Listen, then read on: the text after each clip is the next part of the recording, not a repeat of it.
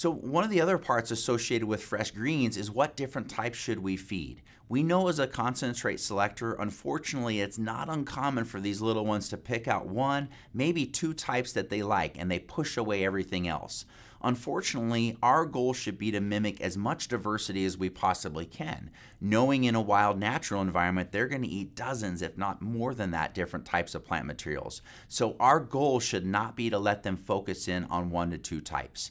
If they do do that, we want to think about different ways to offer greens. We want to continue to diversify by mixing different types of greens together, and we want to be mixing that in with their pellets or their other treats to stimulate intake.